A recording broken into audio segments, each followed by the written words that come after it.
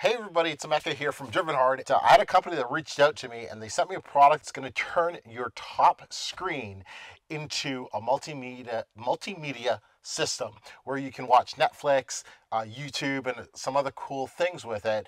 And it's plug and play that even somebody myself, not tech savvy at all, can figure it out and make it work. So that's coming up in today's video.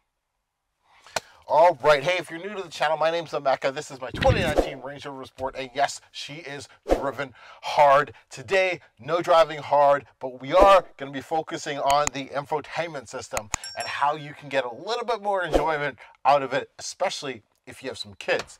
So, um, this is an unboxing. I have this one car stereo uh, AI Box Lite, and uh, you can check it out. I'll open it up with you here. Uh, you have like your instructions. You get the, um, the this little device right here. Okay. Um, of course, a card, uh, a cord, and uh, you also have an adapter uh, if you need that as well. And let me show you exactly how it works. So, what you're going to do? Let's get some power here. First, you're going to plug in the USB-C into the little AI Box Lite. Okay, we'll just call it the black box. Then you take your USB and you plug it into where you would normally plug your uh, your Android or your Apple device in order to access your your your your CarPlay. And so I'm going to plug that in here, like so, and then you see you get some power lights here. Then here's what you do: you simply go into your Apple CarPlay and the system's going to think it's like an Apple CarPlay device. All right, and so this is what the device looks like. So right off the bat, you're going to want to do a couple things. One, you're going to want to um, connect your phone, which I'm recording over on camera one with, um, to its to the Bluetooth on here. So very simple. You simply look for the device's name in your on the Bluetooth on your phone. You connect with that.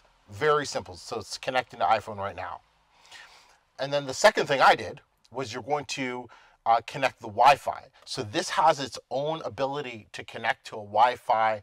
Um, either you can do the mobile hotspot from your phone, uh, like I believe that's how it's set up right now, or you can do the Wi-Fi in your home or whatever. So um, this device is going to be connected to all of that. All right, so once the device is in, you're going to get like a setup screen like this. Now, in order to get the Wi-Fi set up, all you're going to do is you're going to simply click on the Wi-Fi symbol, pick the, the network that you want to connect to. Right now, I'm on my cell phone, um, and so I'm using the Wi-Fi from my phone, but uh, the, it's pretty straightforward. And, oops, I turned it off. Excellent.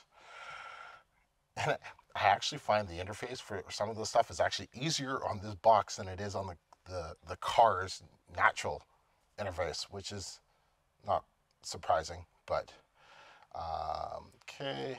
Oh yeah, and that these weird little symbols there. That's kind of like your default go back button, home button, stuff like that. Um, so then you have a list of different apps you can use. We have Netflix. We have YouTube. Um, I have sent them an email to see if you can actually download some other cool apps um, that you might want on here as well. So I'll do a pinned comment on this video with that information when I hear back from them, as well as a list of vehicles and manufacturers that this is compatible with. So right now I just know it's good for this one. Um, so if we take a look, uh, if we can go to YouTube here, the Driven Hard channel, to kind of give you an idea of the quality of what it's going to be like, um, keep in mind this is, all right, here it is but it looks pretty good. Like it looks pretty good. And um, you know, I wonder, can I can I play while I'm in drive? Is it gonna let me play while I'm in drive? Let's check that out. Huh? We'll just hit hit this random video. Oh yeah, look at that, right? I'm in drive, my door's open. So that's cool. So it overrides all safety systems and, and whatnot and allows you to just, um, I've totally lost it now. It allows you to watch stuff while you're driving down the road, which I'm not for. I do not recommend that at all. But uh, essentially, you'd be able to do that, which is really cool. Um, but yeah, this is really neat, guys. This is neat. As I find out more about how to use this and what else it can do, maybe I'll do a slightly more in-depth video. But uh, I will have a link. It's obviously an affiliate affiliate link. Brother needs to eat, feed his kids.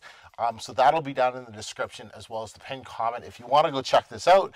But uh, super impressed. I think we're picking up the kids right now from art class. So I'm going to get some Super Mario play on the car right now. And I bet they are going to lose their freaking minds. So anyways, let me know what you guys think of this. Are there any other manufacturers that make cool stuff like this too that I should be checking out?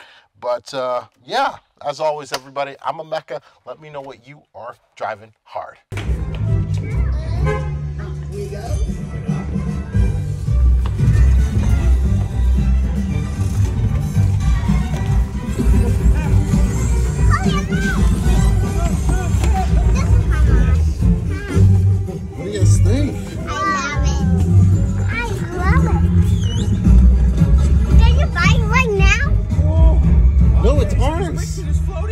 Now? Drive around and watch Mario.